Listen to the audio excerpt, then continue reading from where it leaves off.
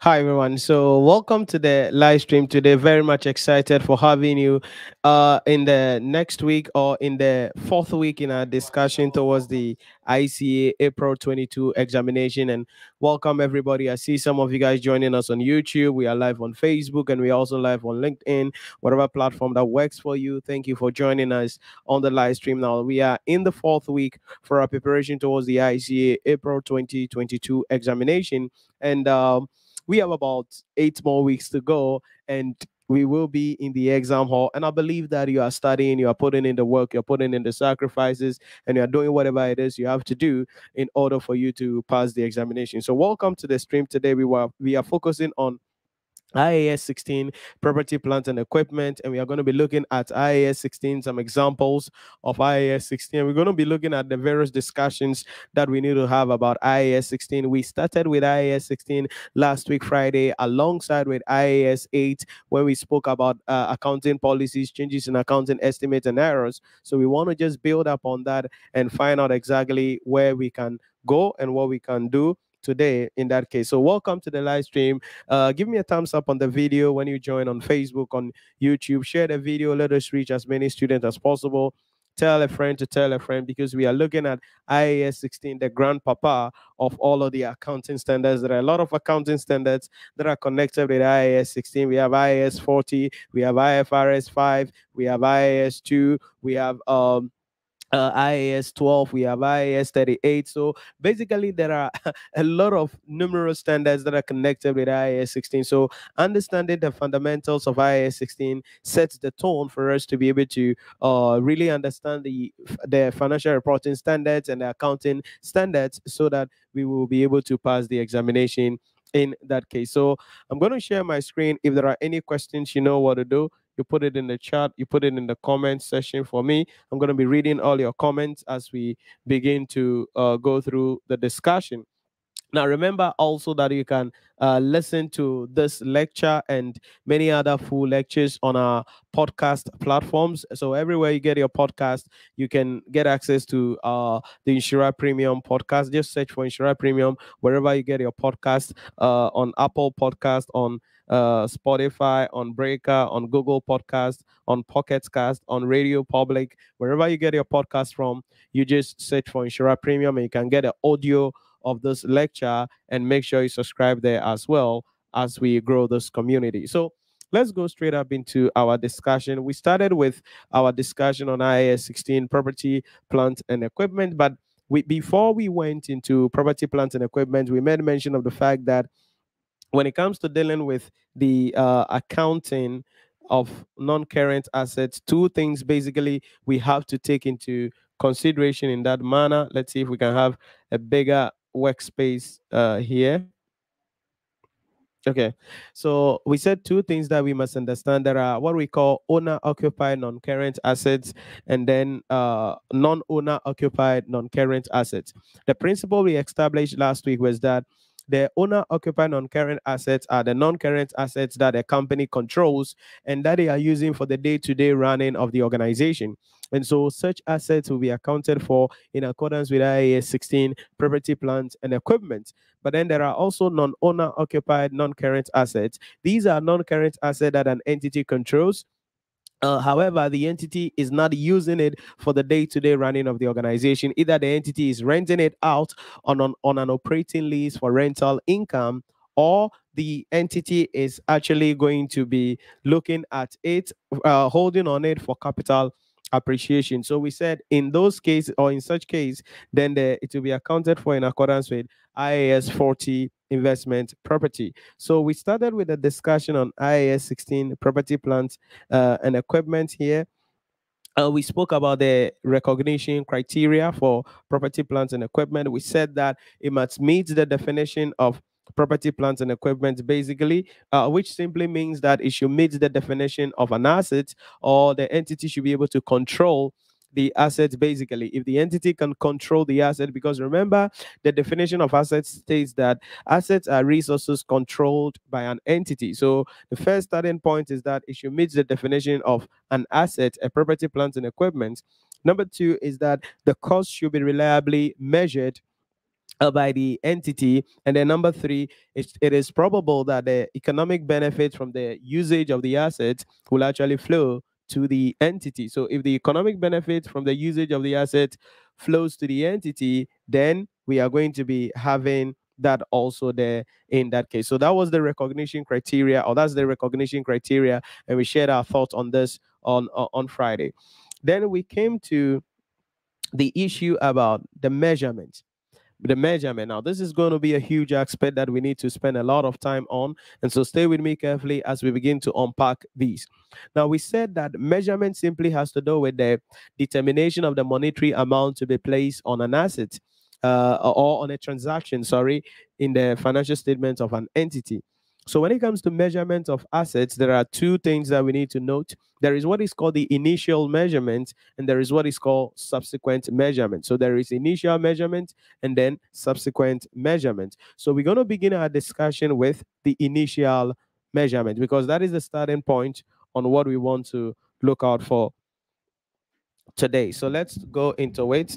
Initial measurement. Initial measurement.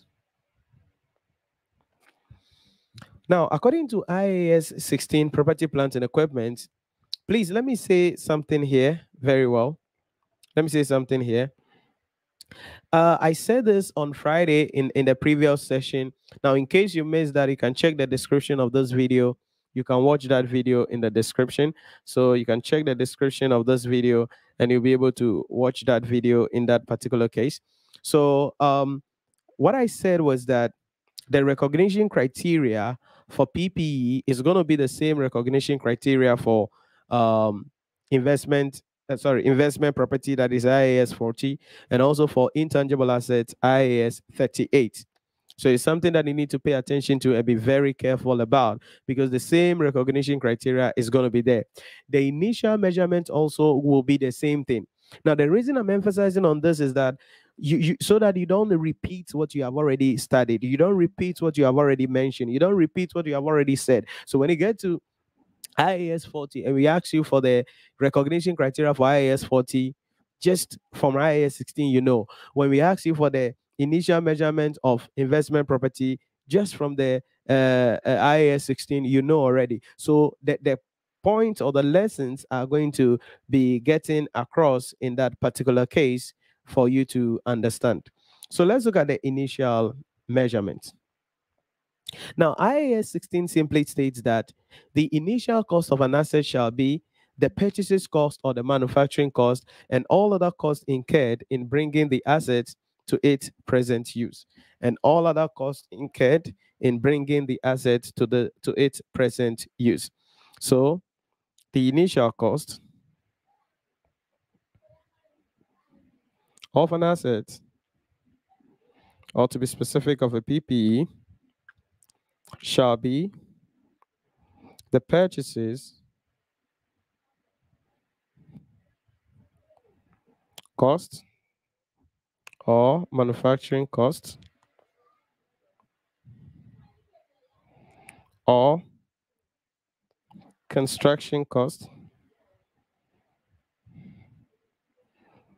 and all other directly attributable costs and all other directly attributable costs incurred in bringing the assets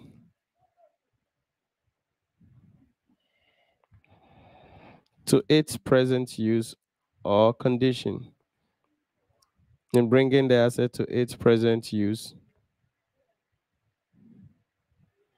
or conditions. Now, you got to be careful here because we're going to unpack all of those things that we just mentioned in that particular case. So, two key things I want you to take away purchases cost. If we've bought the assets, uh, then purchases cost will come in. Manufacturing cost if the company manufacture the assets in house. Uh, construction cost if we are dealing with assets of permanent structure like building, like work, workshop, then such assets are going to be accounted for or will be uh, manufactured or constructed by the entity. Then any other directly attributable cost incurred in bringing the asset to its present use will be included in arriving at the initial cost of the asset. So that is the starting point. That is the starting point. So let me bring up my slide and then let's expand a little bit on what I'm saying.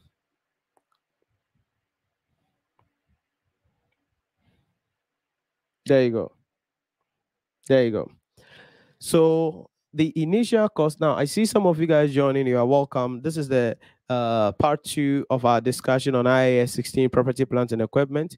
In case you missed the part one, you can check the description of this video and you'll be able to watch the part one and then you follow up on the part two. Or you can check the accounting standard playlist and you'll be able to uh, watch the videos as well. Please comment in the chat box any questions you have for me. I'm reading i'm going to be reading all your comments uh, so we are live on facebook so for facebook we'll be in the comment section and for youtube in the chat box put it in there. Any questions you have for me, please share the video. Let us reach as many students as possible watching the live stream so we can together assist a lot of students preparing for the uh, examination. Okay, so let's go.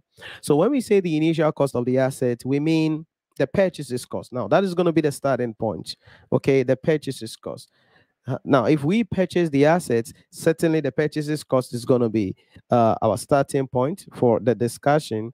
But you have to be careful because if an entity purchases an asset, that it is likely that and it's outside the country, it is likely that it's going to be paying some import duties and then some taxes. So, if there are certain import duties that a company paid in acquiring the assets, those import duties, as far as it relates to uh, the acquisition of the assets, must be included in the determination of the purchases cost of the assets. So, that is going to be happening or that is going to be brought.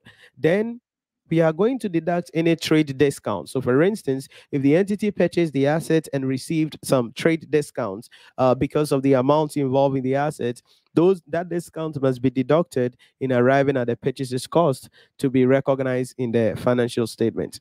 Then we said it is the purchases cost and what all other directly attributable costs. So, what are these directly attributable costs that we are talking about? What are these directly attributable costs? Number one cost of employee uh, benefits. Now, this happens if we are going to be manufacturing uh, the asset in house or we are constructing the asset in house and we are paying employees some employee benefits. Now, this is covered by IAS 19 employee benefits.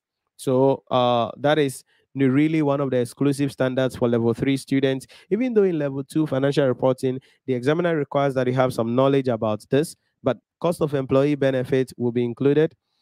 Cost of site preparation, certainly. I mean, the way we're going to be preparing the site will be included in the initial cost of the assets. Then initial delivery and handling cost. So, for instance, we purchase the assets. Hence, in that case, we are going to be paying for delivery and some handling. So those delivery and handling costs will be included in the initial cost. Then installation and assembly cost that is also very important. We're going to be looking at it there. Then cost of testing whether the asset functions properly. So the cost of testing the asset the initial testing. So after installing it the cost we incur in testing the asset will also be included in the initial cost. Then professional fees. Sometimes we would have to uh, pay some legal fees. We have to pay some consultants. We have to pay certain costs before we are able to finish the construction or the acquisition of the assets. In such cases, those professional fees are going to be included. Then initial estimate of dismantling cost. This is covered by IAS 37 provisions, contingent liabilities, and contingent assets. And when we get there, we're going to be talking about that pretty later on. Then borrowing cost, definitely. That is also covered by IAS 23, one of the standards we're going to be looking out for later on. So, if an entity borrows fund to manufacture the asset or to construct the asset, then during the period of the construction of the assets, the interest expenses we are incurring on the assets must be capitalized or included in the initial cost of the asset. And we'll get into that later on when we are looking at IAS 30.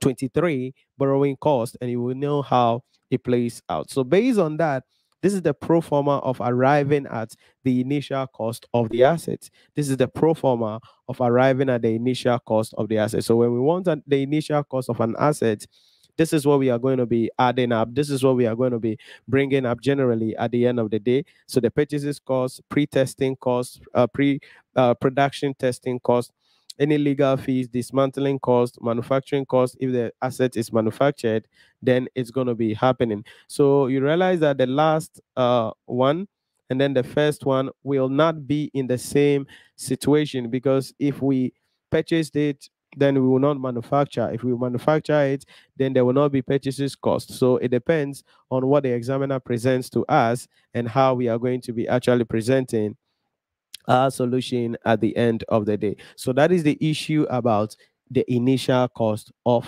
an asset. So you have to be careful because there are certain costs also that an entity incurs that is not supposed to be included in the initial cost of the asset. So let's look at it. So the following cost cannot be included in the initial cost of the assets. So even though these are costs that the entity is incurring, they cannot be included in the initial cost of the asset. Number one, staff training cost. Our staff that we are training them that we are training to use the asset the asset is ready to for use whether we train them or we don't train them the asset will still be used for that reason staff training cost is not included in the initial cost of the asset. Instead, it is written off in the profit or loss account of the entity. Then administration and general overheads. Definitely, you cannot include that in the initial cost of the asset in that particular case. Then initial operating losses, you cannot include that in the initial cost of the asset. New facility opening. This is where you're doing commissioning, like we see here uh, in Ghana, especially every little thing it's commissioned with a lot of uh, gangantua events showing off when nothing is really being done at the end of the day. The same thing happens to companies. Sometimes when they acquire facilities, especially build some factories, what they would do is that they, they are going to commission it.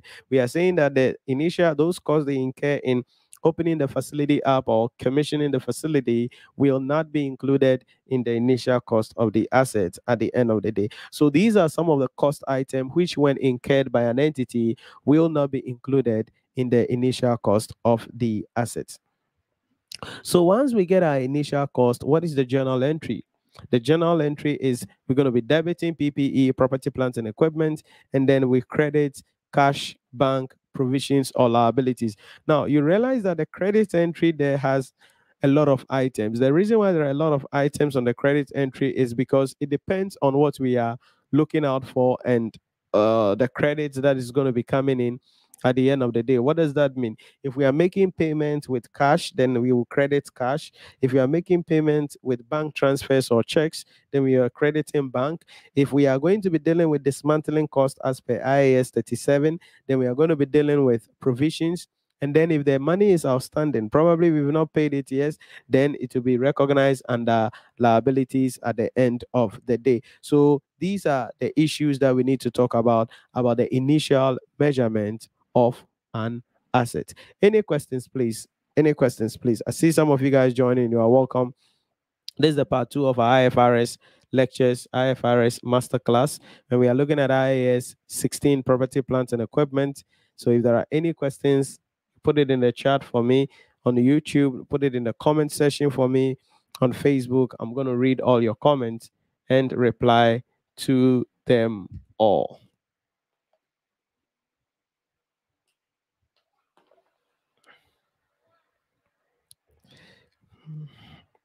Okay. So now that we've looked at the initial cost, let's take an example and see how we can recognize the initial cost of an asset. Let's take an example to see how we can recognize the initial cost of an asset. So I'm going to squeeze this up a little bit. Let's see if I can, I can get a shot of it. Okay. Let's see if I can get a shot of it and put it in my slide because there is an additional information there. Ouch. Because I want to see if I can squeeze it up.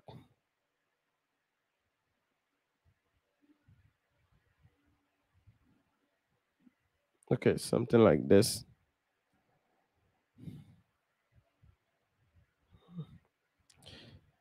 I didn't get everything, but at least got the vital data that we need for our calculation. So let's look at a question here.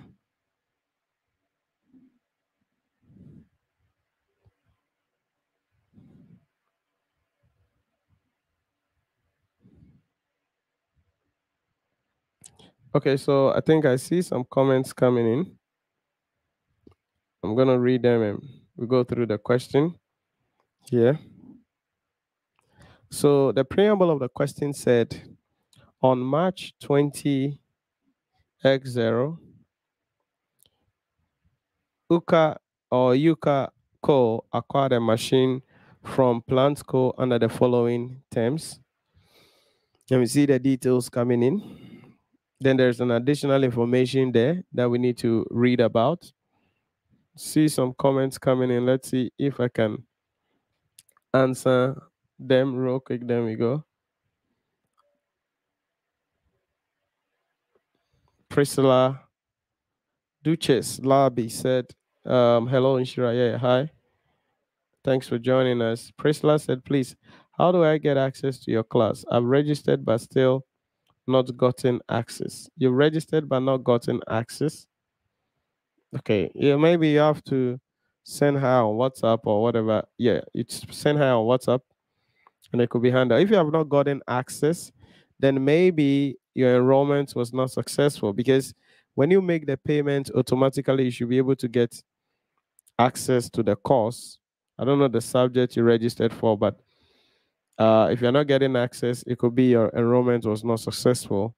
And in that case, there has to be some verification process that we go through before verifying your enrollment. So you can send her a WhatsApp and let's see if that verification can be done before we proceed with your enrollment. Ruth uh, Nyerinda said, Hi, Ruth from Malawi. Hi, Ruth. Thanks for joining us on the live stream. If you have any questions, please put it in the chat for me. We are live on Facebook, we are live on YouTube, and we are also live on uh, LinkedIn. Saint Ino and uh, Veronica Amenofe, Amenofe, thank you for the thumbs up and the heart on Facebook. Really appreciate it. Really appreciate it. Okay, so let's go back to our question. If there are any questions, you put in the chat for me. So we see the list price of the thing, uh, of the asset that we bought. We see import duties coming in. We see delivery cost. So let me go back to my slide here. So we see the list price of the machine. That is 82,000 Ghana's. That's dollar. dollars, not Ghana cedis. 82,000 Ghana cedis. We see import duties. Remember, import duties will be part of the initial cost. So definitely that is going to be coming up. Delivery. Mm, that's going to be coming up because, I mean, delivery cost has to be included, definitely. Then we see electrical installation cost. Yes, that is part of installation. So that is also going to be coming up, definitely. And then pre production testing, definitely that is going to be coming up at the end of the day. Then we see purchase of a five year maintenance contract with the plant. Oh, if we bought an asset and we sign a five years maintenance contract, that should not be part of the initial cost of the asset. That should be maintenance is an operating expenses, and if anything, should be recognized in the operating expenses of the entity. So we see that we're going to be adding all these guys up at the end of the day. But let's see, there's an additional information given. In addition to the above information, UCACO has was granted a trade discount of 10%. Wow. So the company was granted a trade discount of 10%. So let's set out our pro forma for the company and then we are now the requirements of the question. Let's look at the requirements. It says, How should so these are requirements. I should have even read the requirement before starting. But then it says, how should the above information be accounted for in the financial statement? How should the above information be accounted for in the financial statement? So we see the less cost of the machine. So UCACO. Let's look at the initial cost of the machine. Could work two cash columns here. We bring in the purchases cost.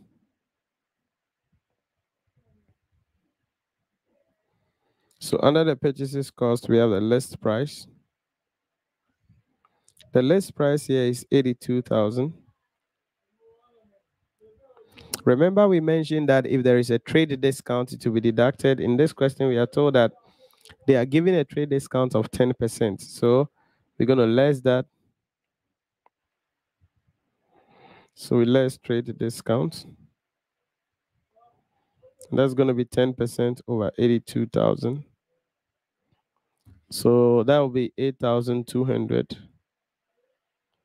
You subtract that, and that gives you the purchases cost net of trade discounts. That's 73,800.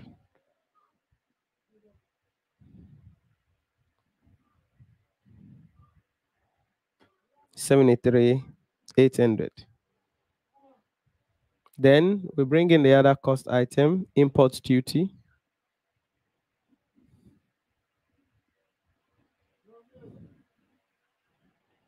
Import duty.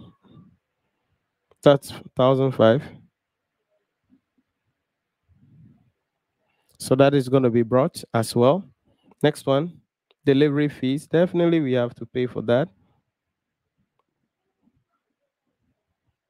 The delivery fee is going to be 20, 2050. Next one, electrical installation costs. Electrical installation costs. That should be part. So electrical installation cost. That's given to us as 9,500. Then pre-production testing for 900, that should be included as well.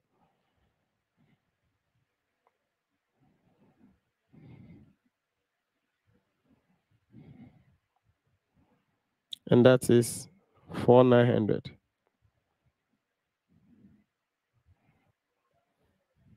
For 900. Now, I want you to stay close with me very well here because you realize that in this, in the question, what I put in the uh, mark there, we realize that we are told that the purchases, a purchase of a five-year maintenance contract with the plant or with plants. Like I mentioned, this is a P&L transaction for five years. For five years. So it's a P&L transaction. So we're not going to include that in our workings at the end of the day. We're not going to include that in our workings at the end of the day. Sorry. So let's derive our initial cost. So let's add this guy up.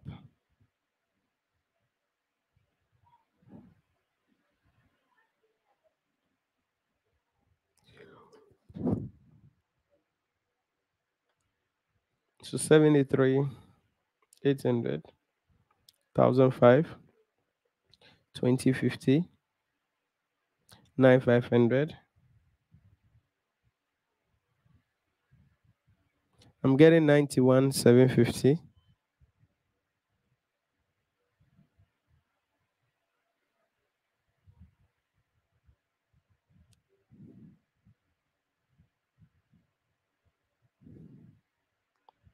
So that is the initial cost of this plant that we bought. Any questions, please? Any questions?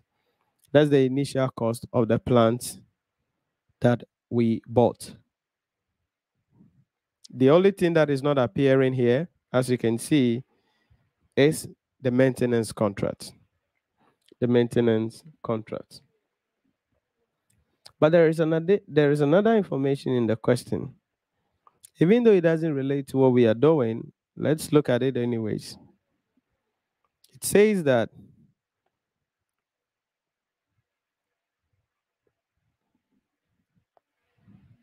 a settlement discount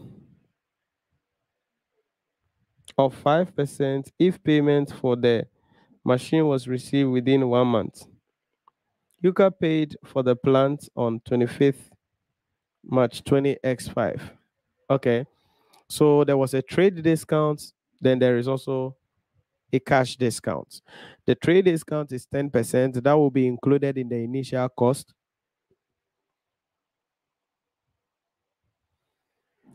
But the cash discount will be a P&L item.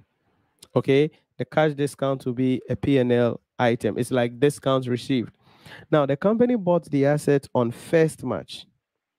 We are told if they pay the thing within one month, they get 5% settlement discount. And the examiner said they made a payment on 25th March. So if they bought it on first and making payment on 25th, did they qualify for the settlement discount? Yes, they qualify for the settlement discount. For that reason, there will be that settlement discount coming in of uh 5% that will be recognized in the profit or loss. Now, that is not part of the question, literally, because that is not what the examiner said we should do, but I'm just including it and then finish it, finishing it up.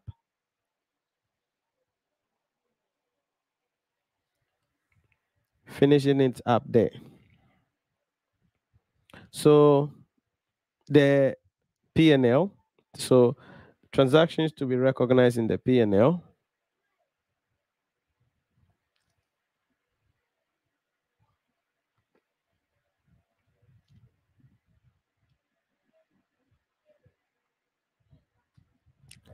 So transactions to be recognized in the profit or loss relating to this particular one.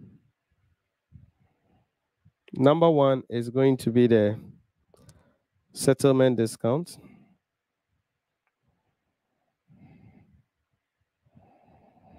And that's recognized in the profit or loss. It's an income. So that's going to be 5% of the initial value we got here, 91,750. What do we have? 0 0.05 times 91,750. I'm getting 4588 approximately. So that is the settlement discount. Now, that settlement discount, where do we recognize it? That settlement discount will be recognized in the P&L. Now, the double entry for that is you're going to debit. It was it was bought on credit, so we'll debit the trade payables The a 4588. But like I say always, I mean, you're not going to be writing this down in a exam hall. Then you credit the profit or loss.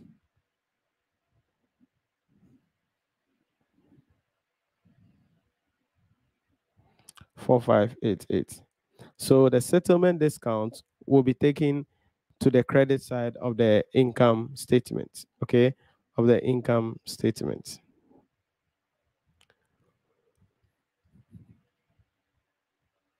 But there is a maintenance contract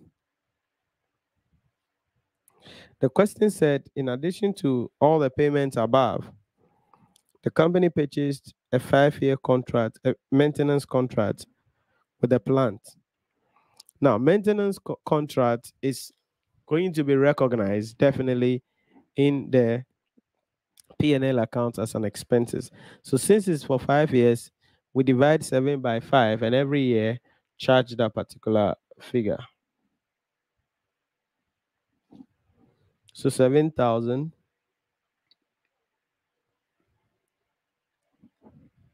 by 5 is 1,400.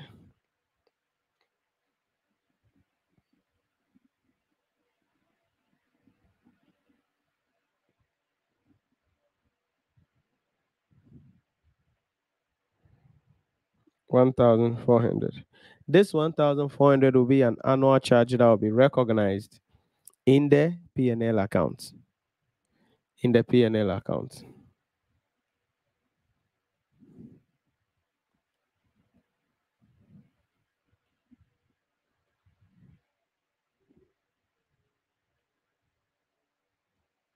To be recognized in profit or loss.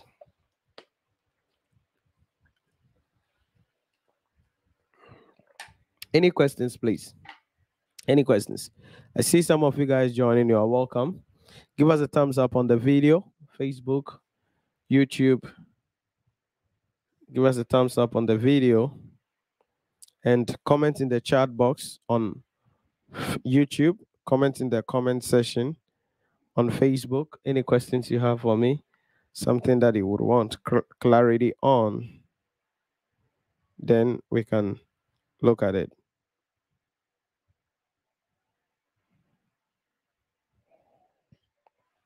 So when we say initial measurement, this is what we mean. This is what we mean by initial measurement. So that's the first part.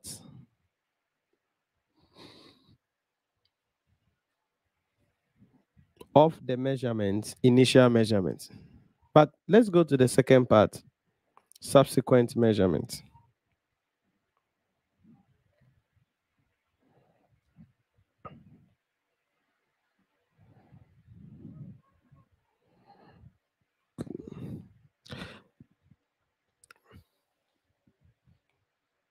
So after we recognize the assets, the company will start. So we need to find out how we can account for that particular asset in the books of the entity.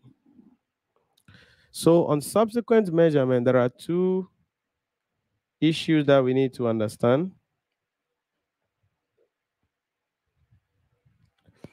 So subsequent measurements. There are two models that we're going to be using in that case. I see some comments coming in. Let's see if we can look at it.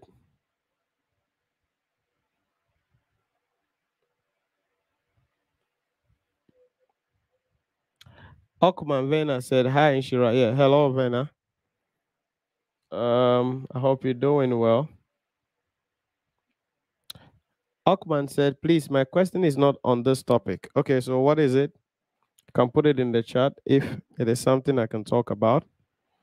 I can talk about that briefly, then we go. If there are any questions you have, put it in the chat for us. We're going to be answering them all. In that case,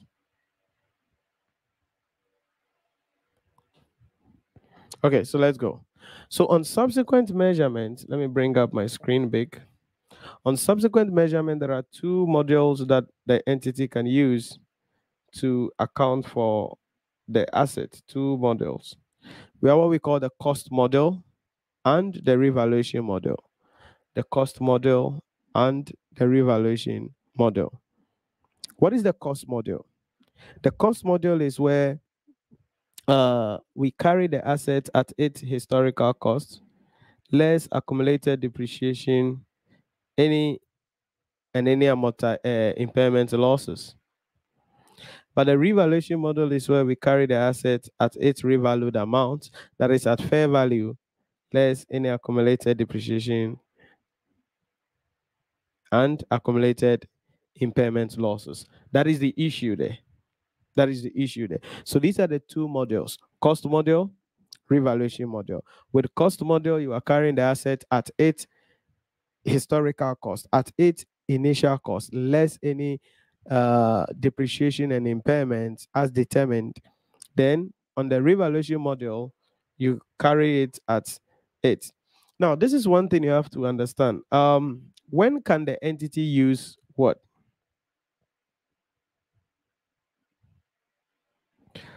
Cost model and revaluation model. In all cases, uh, the conceptual framework for general purpose financial statements, that is the Inter- uh, International Accounting Standard Board conceptual framework, all assets should be carried at their fair value. In other words, all assets should be revalued at least once a year. So for that reason, it looks like all assets will be using what? The revaluation model. Okay, all assets should be using the revaluation model. But then there are certain assets that are of a specialized nature. There are certain assets that are uh, that requires modification. There are certain assets that cannot be used out of the box. For those assets, we would have to uh, use the cost module to account for them. Okay, we have to use the cost module to account for them. So if the economic useful life of the sorry, if the fair value of the asset cannot reliably be determined, go for the cost module. Go for the cost module. So it means because there are no buyers, there are no uh, sellers, you cannot determine the fair value of the property. In that case, we will use the cost module. But if it is possible that the people there are there is a market available and there are people buying and people selling, there is demand there. Then what is going to be happening is that the entity is going to be using the cost module in that particular case. Okay. So cost module will be used when the asset is of a specialized nature. There are no buyers, there are no sellers. Then we uh, use the cost model. Revaluation model will be used when we can determine the fair value of the asset reliably. Please note that the revaluation model is also called the fair value model. Okay, the revaluation model is also called the fair value model. That is the issue about that one. Okay, so these are the two modules we have to carry assets at. Now, irrespective of the module you are carrying the asset at, you remember that depreciation is always going to be there. So let's look at depreciation quickly. What is depreciation? Now, IAS 16 has given us a definition for how we can uh, depreciate or, or uh, has given a definition on how we can define depreciation. So, in a simple language, just for one liner understanding, we say that Depreciation is the systematic allocation of the depreciable amount of an asset over its what? Useful life. Over its useful life. The systematic allocation of the depreciable amount of an asset over its useful life. That is the depreciation. Now, there are numerous methods that we can use to calculate depreciation of an asset or to determine the depreciation of an asset, but two of them will be cardinal or critical in our uh, understanding as corporate reporting students or financial reporting students. So we have the straight line method and then the reducing balance method. The straight line method and then the reducing balance method. We have to look at how we can use these methods. Now, let me also say here that uh, the straight line method usually is used for assets of a permanent nature. So, for instance, we are dealing with something like building straight line method will be used.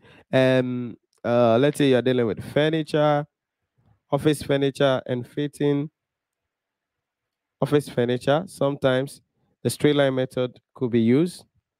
But things like plants and equipment, okay, we use the reducing balance method. Why?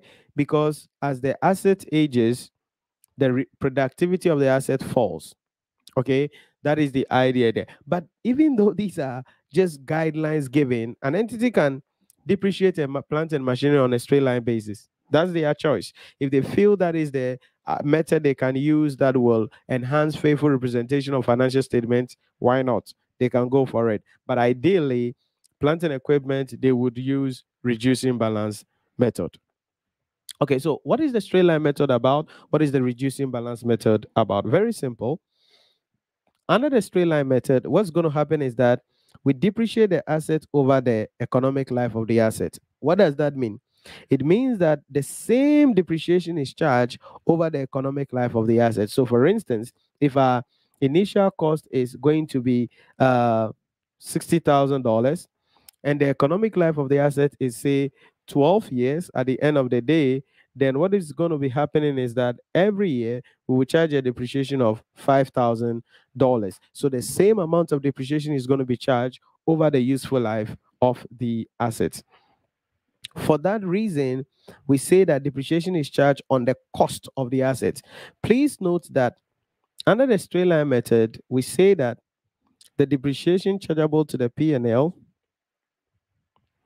will be the cost minus the residual value or the terminal value or the scrap value depending on whichever is available in the question. So we can have scrap value there, we can have terminal value there, we can have the uh, residual value, whatever we have, we bring it in, divided by the economic useful life of the asset times x over 12. Now, why am I bringing the x over 12 up?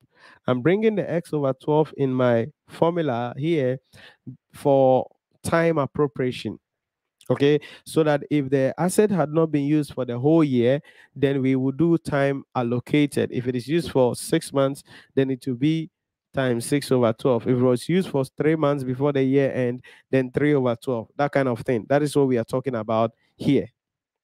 I get in it? That's what we are talking about here. So that is the straight line method. But even though this formula is available under the straight line method, depreciation can also be charged on cost. So it is where the examiner will say 25% on cost. If the examiner says 25% on cost, we are charging depreciation on cost. It means you are using the cost model. It means that you are using the straight line method to calculate your depreciation at the end of the day. That is the issue about the straight line method. The reducing balance method is the direct opposite of that. So with the reducing balance method, we calculate the depreciation on the carrying amount of the asset. Very, very important. So what it means is that under the reducing balance method, you're going to be bringing the cost of the asset. Then you're going to be bringing in any accumulated depreciation on the asset previously. Then you get the carrying amount at the time of the depreciation being calculated.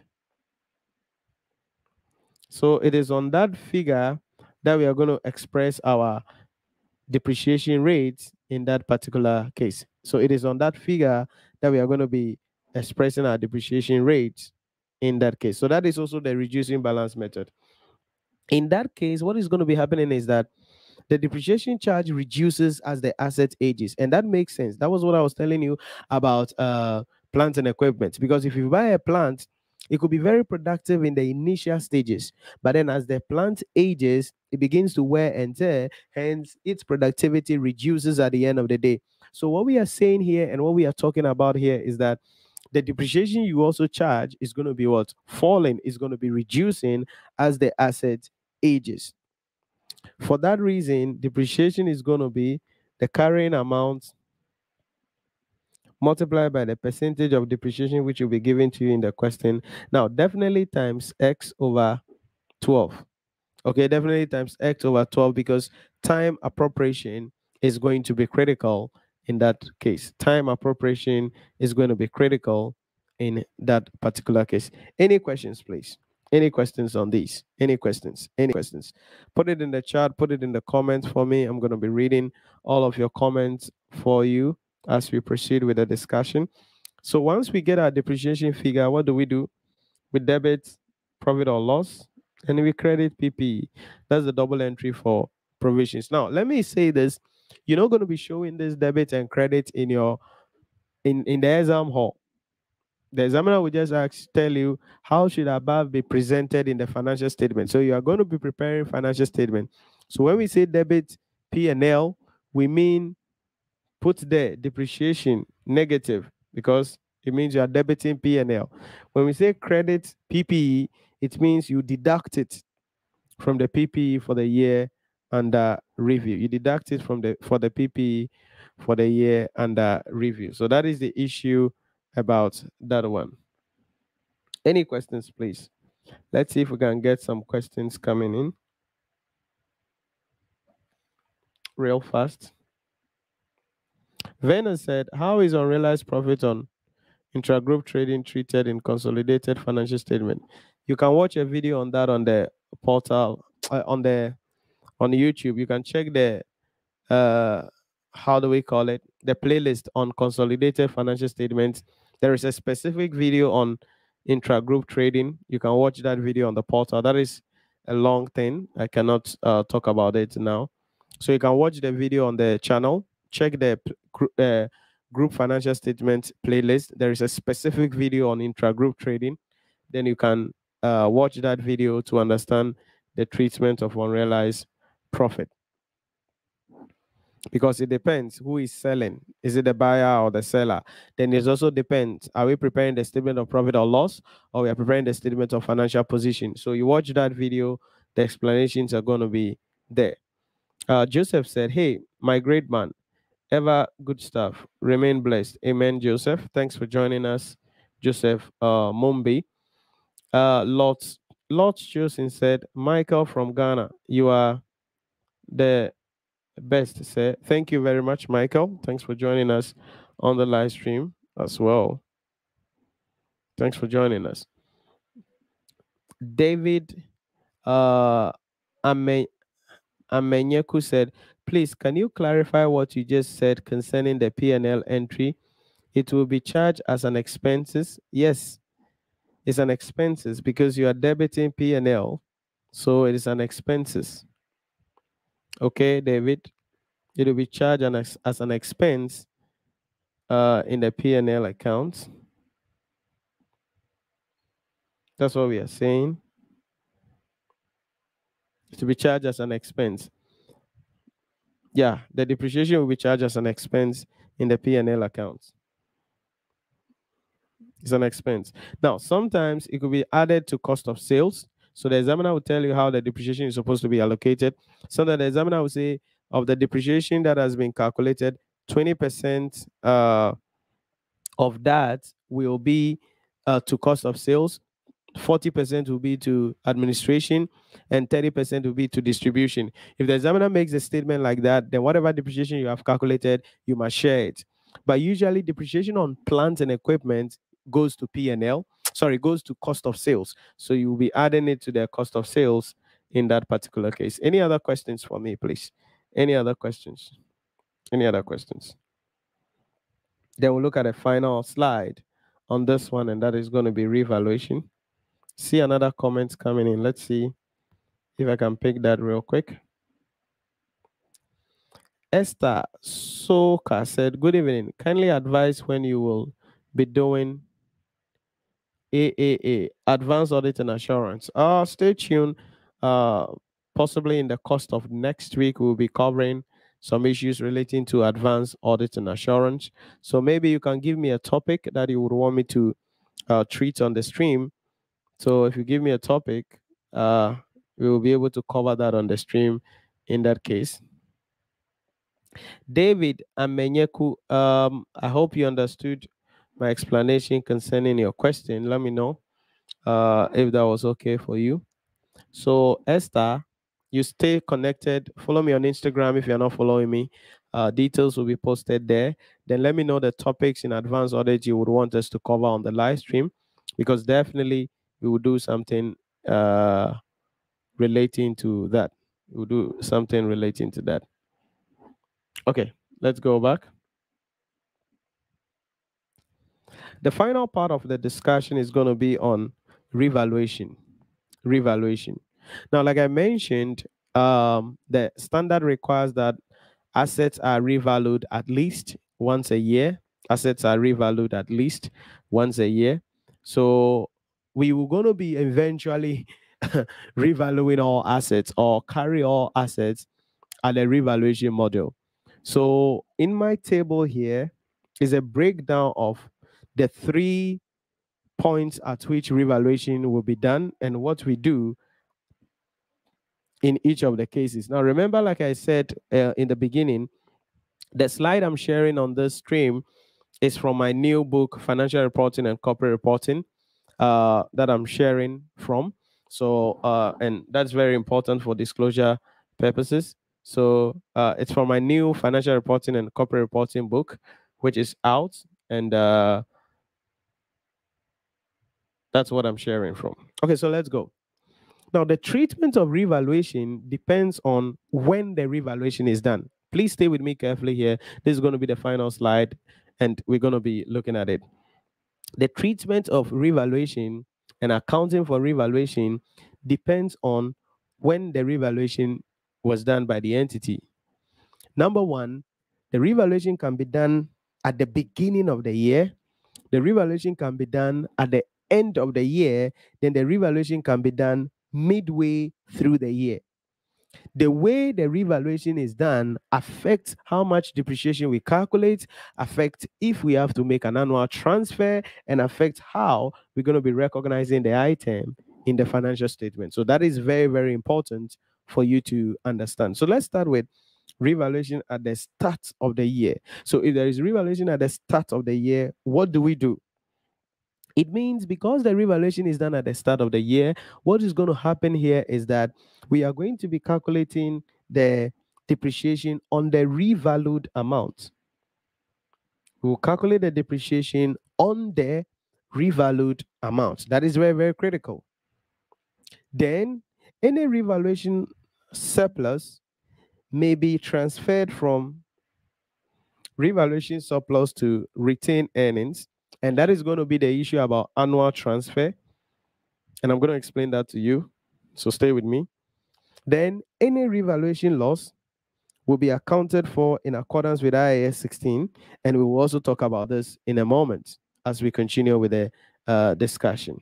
As we continue with the discussion, I see a comment coming in. Let's see if I can take that real quick. Esther said, Audits of historic financial information, evaluation and review. Okay. Let me take a screenshot of that. Okay. All right. Then Apame said, let's see what Apame is mentioning. He said, please, why? Please, why considering 5% early settlement discount on the initial cost of the asset and not on the purchase price? No, no, no, no, no.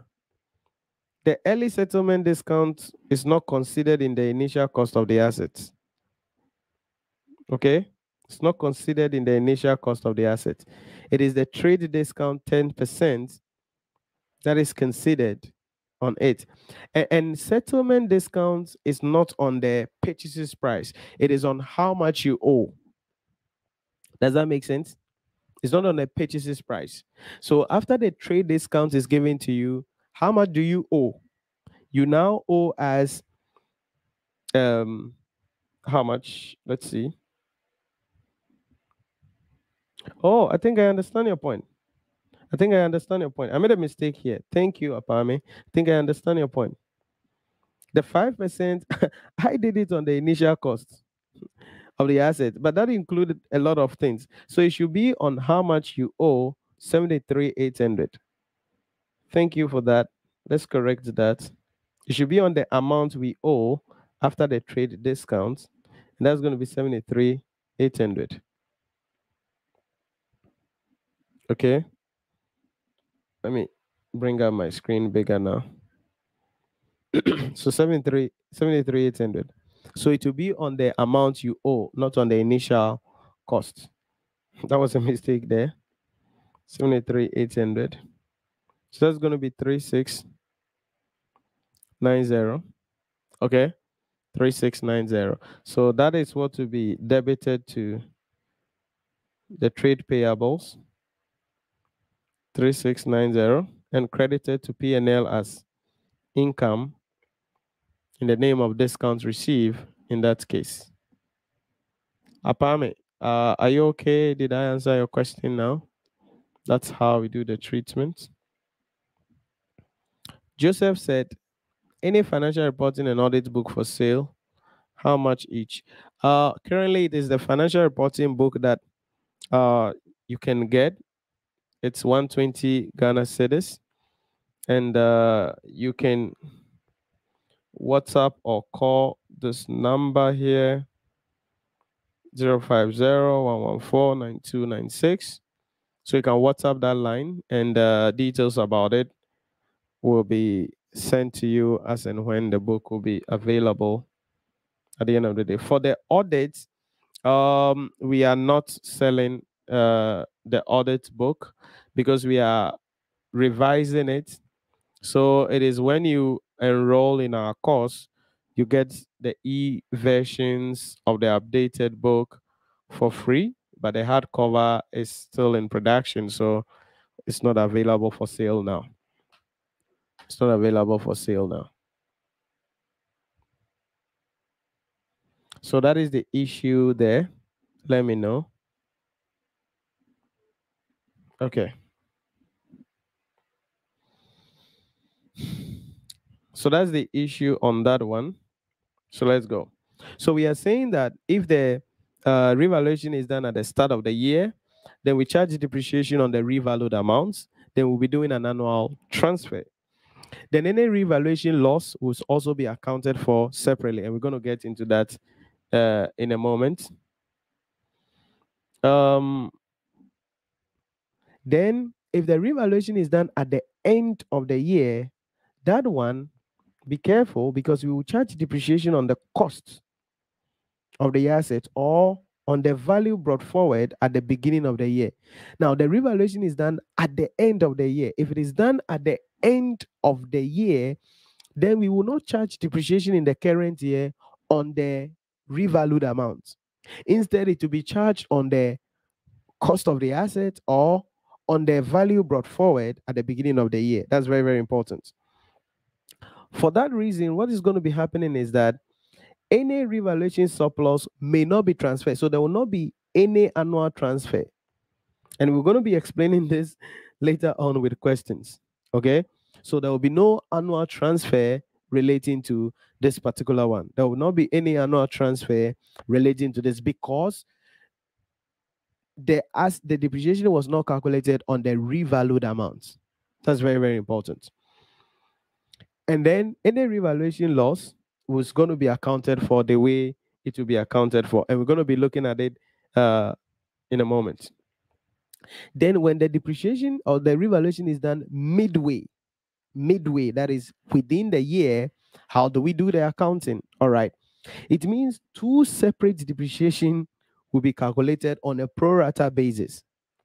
Two separate depreciation will be calculated on a pro rata basis. Now, what, what does that mean? What does that mean? That means that we will calculate depreciation up to the time the revaluation was done.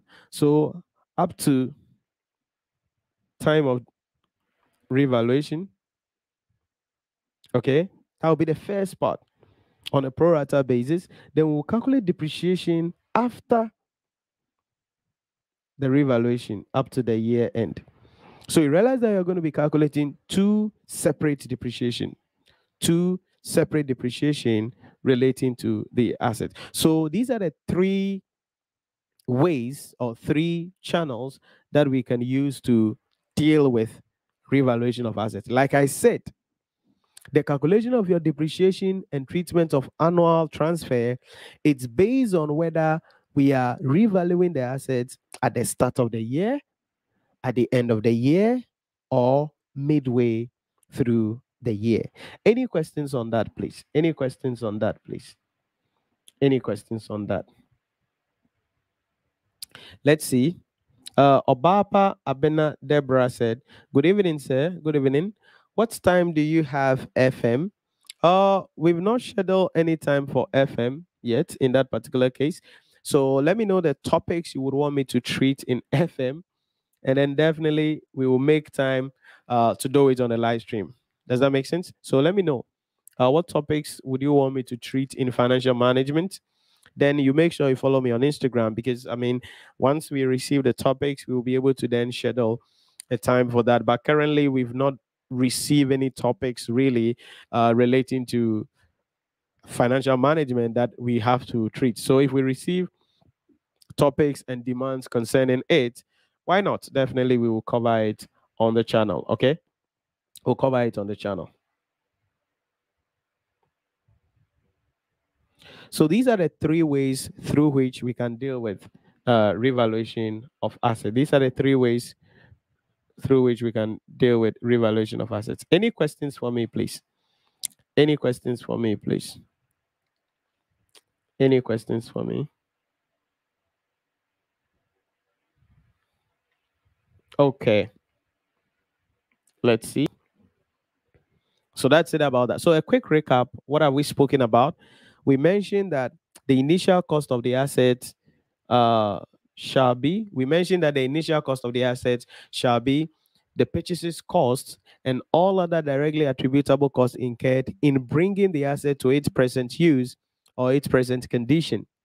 Then we mentioned that when it comes to the measurement of the asset, there are two things we must pay attention to. Uh, that is the initial recognition and then uh, or initial measurement and then subsequent measurement. On the subsequent measurement part, we said there are two models that can be used the cost model and the revaluation model or the fair value model. What we mentioned was that where the asset fair value can reliably be determined, then the entity will use the revaluation model or the fair value model. But then if the fair value of the assets cannot be reliably measured, then in that case, the asset will be carried at its historical cost less depreciation, meaning we will go for the cost model. Or if the asset is of a specialized nature, meaning that the asset is customized, the asset cannot be readily used by another entity, in which case it cannot be readily sold to another entity, then we're going to be depreciating the asset or we're going to be carrying the assets using the cost module and then the revaluation module. So there are certain conditions that are going to be there generally at the end of the day. Then we said, okay, whether you are using cost module or revaluation module, one thing stands. Actually, two things stands. That is depreciation and impairment. Now, the impairment part is under IAS 36, and we'll look at that later on in the discussion. But then the depreciation part is what we are interested in for now. And we said there are many methods though, but two of them stands out, and that is the straight line and then the reducing balance. The distinction is simple that a straight line method is where we depreciate the assets on the cost of the asset, and hence the same amount of depreciation is charged over the entire economic life of the asset. However, with the reducing balance method, what happens is that we calculate the depreciation on the carrying amount uh, of the assets. Hence, the depreciation charge, charge every year reduces as the asset ages. Then we concluded to say that when it comes to the revaluation of assets, three things we must bear in mind. That is, uh, when is the revaluation done? How do we deal with annual transfers? And how do we calculate the depreciation? Three things we must understand. When is the revaluation done? How do we calculate depreciation? How do we deal with annual transfer? Very, very important. You don't want to take it for granted. And so we say there are three categories of times when revaluation can be done. Either it can be done at the start of the year, it can be done at the end of the year, or it can be done uh, midway through the year. If the revaluation is done at the start of the year, what is going to be happening is that we will charge depreciation for that year on the revalued amounts. For that reason, any gain or loss must be recognized in the financial statement, and we'll look at that uh, later. And then we said, for that reason, the entity would have to make an annual transfer, and I'll share my thought on that also. But then, if the revaluation is done at the end of the year, then the depreciation for the year will still be charged on the cost of the asset or on the carrying amount brought forward, not on the revalued amount. And then any revaluation gain or loss will be accounted for the way it has to be accounted for. In that case, when the revaluation is done at the end of the year, there will not be any annual transfer for that particular year. For that particular year. Then the final thing is the midway uh, through the year. If, if it is done midway through the year, then we have to calculate two depreciations on a pro rata basis. That is one from the time the asset from the beginning of the year up to the time the asset was revalued. And then second will be using the revalued amount from the time the asset was revalued to the reporting year or the year ended for the entity. So that is the issue that you need to understand in that case and what we have been talking about uh, today. Joseph said, How do I enroll with you? I have ZiCA technicians from Zambia. Where do I start with your course. Um, I don't have detail about that, but you can send hi on WhatsApp. uh 05011499296. You can see below your screen uh the scroller or how how's it called? The crawler or scroller whatever whatever it's called. Uh, the number is there. Let me see if i can pull it up here as well for you. You can call or whatsapp at 050 uh, if you're outside of ghana then you add plus 233 to it so you can see the number display below the flyer there in that case. So that is there. You can whatsapp us and then we can determine what to be uh, a good thing for you in that case. So that's it about that.